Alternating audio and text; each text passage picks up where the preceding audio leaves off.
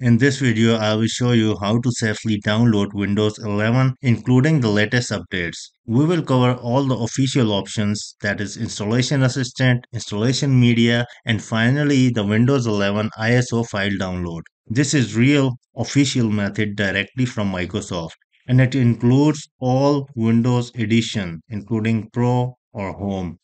When you land on the Microsoft official download page, the first option is the Windows 11 Installation Assistant. This tool is perfect if you just want to upgrade your current PC to Windows 11. Simply click download and run the tool and follow the steps.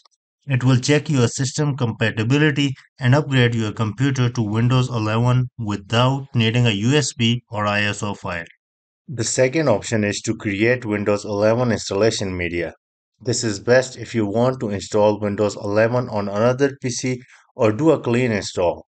Just go ahead, download it, run the media creation tool and accept the terms. Choose your USB flash drive and make sure USB is at least 8 gigabytes.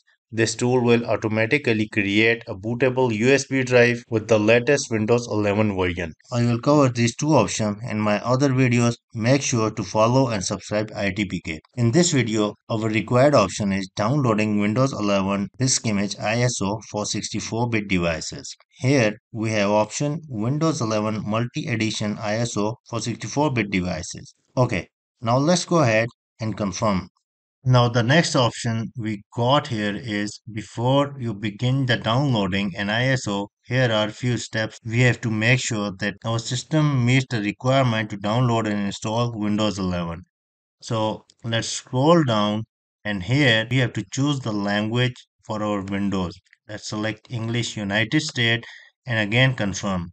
Now here the next option we have to choose is 64-bit go ahead and specify the location for downloading your window. I want to save it on my desktop, Windows 11, all versions. And now save the ISO file. The Windows 11 ISO files has started downloading. We don't need to wait for it to finish here.